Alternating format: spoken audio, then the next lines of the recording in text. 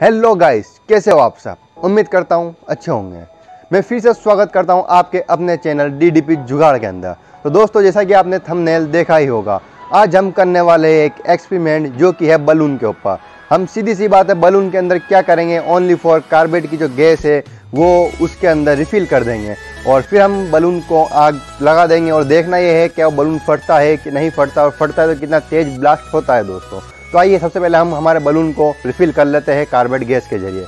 चलिए आइए। तो गाइस आप देख सकते हो, ये हमारे पास है गैस वेल्डिंग की टॉर्च और ये है बलून गाइस हम अब ये जो गोल्डन करेंगे बलून है, हम इनके अंदर जो है रिफिल करेंगे। सबसे पहले हम गैस टॉर्च के ऊपर इसको लगा देते हैं और कर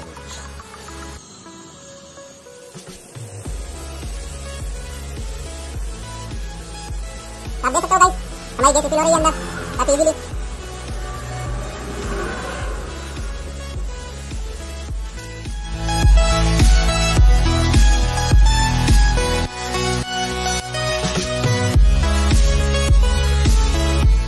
गाइस हमारे ये बलून तैयार हो चुके हैं।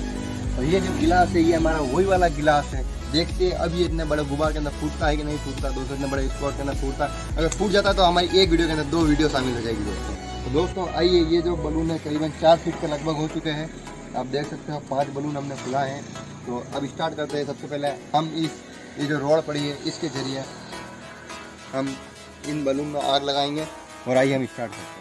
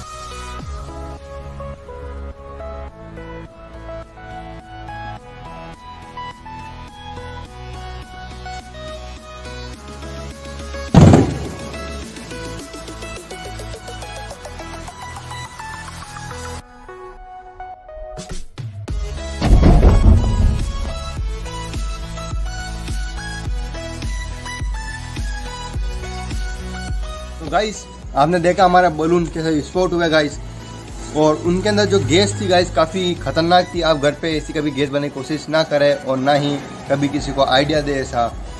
इससे अपन जल भी सकते हैं। इसकी जो भाप थी जो इसकी गर्माश थी दोस्तों वो, वो मेरे तक भी आई थी। और उससे काफ़ी ज़्यादा पसीना हो चुका था मेरे को। और इसका जो है वायु प्रदूषण बहुत ज़्यादा होता है। एक तरह का इसे कच्ची गैस बोल सकते हैं हम। ये एक तरह कच्ची गैस जो काला धुआँ बनाती है। तो दोस्तों कैसी लगी आज की वीडियो कमेंट करके ज़रूर बताओ तो ऐसी और अमेजिंग वीडियो देखने के लिए लाइक कर दीजिए वीडियो को कर दीजिए subscribe channel thanks for watching my video